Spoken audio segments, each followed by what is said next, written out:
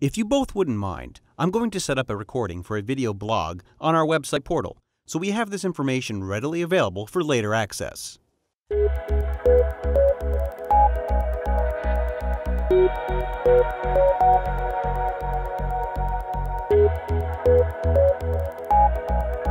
Okay, now that we're settled, let's talk protests. The first thing to remember is protests are nothing to fear if you follow a few basic concepts. Be consistent, be fair, be clear, be open, and document, document, document. You can have either a pre award protest or a post award protest. Let's talk about the pre award protest first. Restrictive or ambiguous requirements are hotly contested areas for pre award protests. Can you give some examples of specific challenges? Sure. First, overly restrictive requirements are a common challenge. Think through your requirements to ensure you aren't restricting competition by placing strict limits on your requirements. For example, don't solicit sterile wound dressing with a specific absorbency threshold when you just need sterile wound dressing. The absorbency threshold may restrict competition and not be needed to adequately meet the requirement. Also, don't ask for a particular brand name if any brand name of a specific item will be adequate. It is also important to write solicitation language that is clear and unambiguous. If the solicitation language is unclear or conflicting, an offerer may not know how to respond, resulting in a challenge of the solicitation requirement. For example, if the technical requirement calls for a room to be painted blue, the various shades of blue that could be used may not provide the requiring office with their desired outcome. Inconsistencies in your solicitation are also a pitfall to avoid. The most likely place for conflicting language would be inconsistencies in Section L, which provides instructions to offerers, and Section M, which sets forth the evaluation criteria. For example, the Request for Proposal, or RFP, states in Section M that the government will evaluate the offerer's proposed staffing plan. However, Section L of the RFP did not instruct the offerers to include their proposed staffing plan in their proposal. Always do a crosswalk between these two sections and the Performance Work Statement, or PWS, to ensure consistency. Evaluation criteria can also limit competition. It is essential to ensure the evaluation criteria does not favor a particular prospective offerer. I think I understand. In other words, be fair and clear. Absolutely. It is imperative that all documentation created supports the evaluation process set forth in the source selection plan, as well as the source selection decision. After evaluations have been completed, discussions have been held, and the source selection decision has been made, the contract will be awarded. A good debriefing of the evaluation results may help reduce the possibility of a protest. So I've heard of a debriefing, but I'm not sure I fully understand what it is or its purpose. Debriefings will explain the rationale of the source selection decision, as well as provide confidence in the government's evaluation conclusions and contract award decisions. Unsuccessful offerers are sometimes able to accept negative findings if they perceive the government acted with fairness, consistency, and in accordance with the evaluation criteria in the solicitation. In fact, we have a video that explains the debriefing process. Take a look at it and let me know if you have any additional questions. Great. Thank you, Carol. You're welcome. The majority of the protests we receive are post award protests. Usually, the protester believes that if the evaluation had been properly conducted, the award decision would have favored them. An offerer can allege that the technical evaluation was improper, the cost evaluation was improper, the past performance evaluation was improper, the source selection decision was not supported, or a variety of other things. Let's take a closer look at each one. First, I'd like to talk about allegations of improper technical evaluation. One important point to remember is never deviate from the stated evaluation criteria. You must follow the criteria in the solicitation exactly and ensure you evaluate everything as stated in the solicitation. For example, if the evaluation criteria requires give five years of experience for the key personnel, we must ensure that the resumes of the proposed key personnel reflect at least give five years, nothing less. Inconsistent application of evaluation criteria among offerers is a common protest pitfall. For example, in response to one solicitation, three offerers proposed a similar technical approach to accomplish the requirement. Two offerers were assigned a weakness for the approach. However, the awardee did not receive a weakness. In this instance, the evaluation criteria was not applied equally to all offerers. Understood. So, clear and accurate evaluation criteria is super important when applying it to all offerers. Are there any other pitfalls? Absolutely, Jack. Another potential pitfall is the use of undisclosed evaluation criteria. This can easily happen if the evaluation team has a concern, but the RFP did not state the area of concern as evaluation criteria. For example, the evaluation team is concerned that the proposed program manager may not be qualified. However, because no specific qualifications for the program manager were identified in the solicitation, we cannot evaluate the concern. Got it, Carol. What else should we be making note of? Well, another protest allegation against the technical evaluations is the use of mechanical evaluations. For instance, it would be improper for the agency to mechanically use only the independent government cost estimate to evaluate the technical capability of each offerer's proposed staffing without regard to the varying proposed technical approaches. Yet another area where offerers may be successful in their protests is when they challenge the cost evaluation. Let's talk about some common cost evaluation allegations.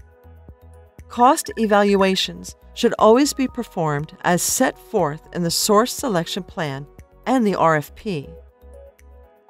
Your evaluation criteria should state whether you will evaluate price reasonableness and cost price realism you should only perform the evaluation detailed in the solicitation. In other words, don't do a cost realism analysis or probable cost adjustment unless you have stated in the solicitation that one will be accomplished. Can you provide an example? Sure. Here is an example of improper cost adjustments to the probable cost. The offerers were required to identify their proposed staffing in order to accomplish the requirement using their proposed technical approach. The technical evaluation team determined that in order for the offerer to be able to achieve success using the proposed approach, they would need to increase the proposed staffing by 750 hours. This information was shared with the cost price evaluation team. However, they rounded up and added the cost of an additional 1,000 hours and the probable cost adjustment. Another allegation we see is a challenge to the past performance evaluation. In the previous protest allegations we discussed, the unsuccessful offerer was concerned about the treatment of their proposal. With past performance, the unsuccessful offerer is concerned that the past performance evaluation team failed to consider negative past performance about the selected awardee. What should be considered when evaluating past performance? When we evaluate past performance, we must consider the recency, relevancy, and quality of past performance. One common past performance allegation is a challenge of the government's interpretation of recent and relevant experience. Recency is generally expressed as a time period during which past performance references are considered relevant. Once the past performance reference has been determined recent, the past performance evaluation team will determine relevancy based on similarity of product, service support, complexity, dollar value, contract type, use of key personnel, and extent of subcontracting teaming. The quality of product service support provided is then evaluated using information collected from the Past Performance Information Retrieval System, PPIRS, or other government databases, as well as the past performance questionnaires, interviews obtained during the evaluation process. An offer may also challenge that the government failed to consider known performance issues, otherwise referred to as close at hand information.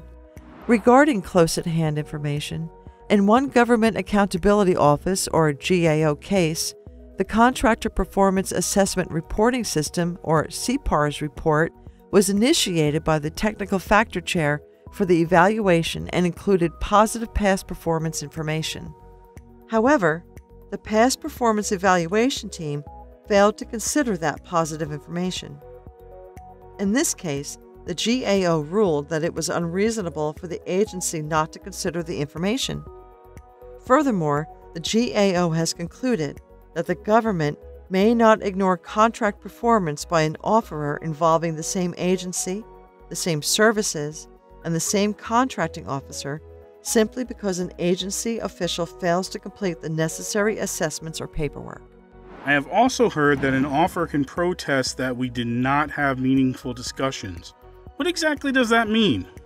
Conducting meaningful discussions is a highly protestable issue. The concept of meaningful discussions itself is not found in the statutes or the regulations, but is the product of a long line of GAO decisions holding that whenever an agency engages in discussions with offerers, those discussions must be meaningful. Isn't that in FAR Part 15? Exactly, Jack.